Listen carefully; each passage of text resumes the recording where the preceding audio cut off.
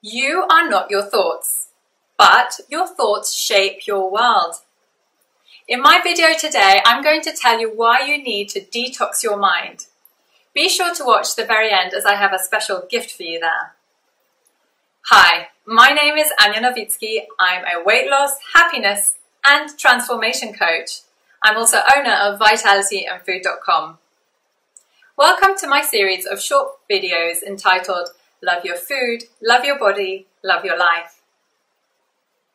So why do you need to detox your mind?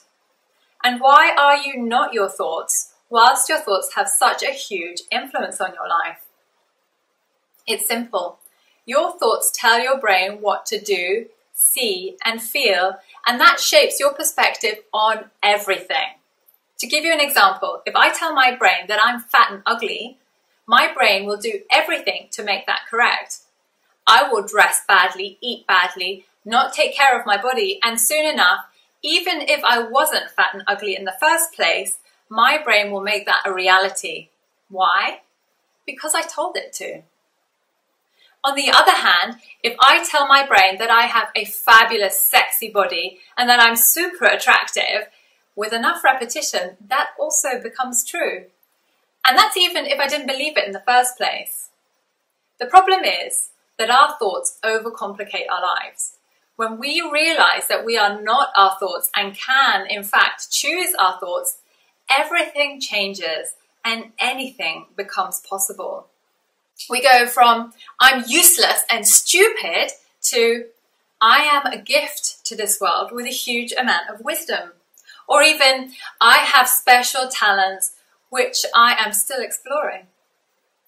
We go from I hate eating healthy foods, they're so boring, to I love experimenting with healthy foods that nurture my body and make me feel great. So, what do you think? If that negative language is something you're all too familiar with, a negativity detox could radically change your life. How to do a negativity detox. Number one, monitor your thoughts. What kind of things do you say to yourself? You might even ask someone close to you if they've noticed the negative way you speak to yourself or about yourself. Number Two, flip the language.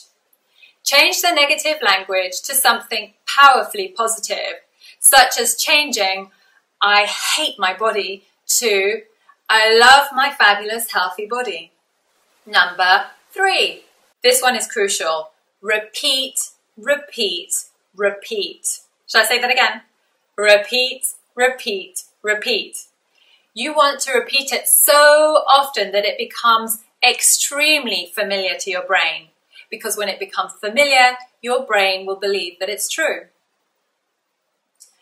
I actually had fantastic results with this exercise personally recently. My 10 month baby was waking up several times in the night and I was exhausted and getting increasingly resentful towards him and everyone else because they weren't suffering in the same way as I was. So I decided to change something and I changed my language. Instead of repeating how tired I was and how much I hated being tired and how unfair it was, I began telling myself, I can do this. It's only a phase. I will get through it. Soon the burden of the night wakings dissipated and I even had more energy in the day. This is totally, totally true. So this really works. Are you up for it? The key points to remember are number one, monitor your thoughts.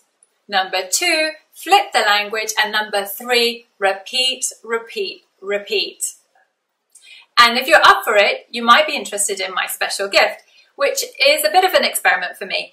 I've set up a Facebook group to anyone who would like to do the negativity detox for the month of September.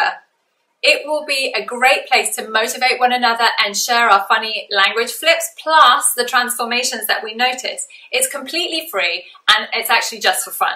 So if you're up for it, send me a message to Ania at vitalityandfood.com and I'll send you the secret link. Thanks for watching. Love your food, love your body, love your life. Brought to you by vitalityandfood.com. If you enjoyed this video, please share it with your friends so that they can benefit from it too. That's all for now. I look forward to seeing you in the comments. Bye!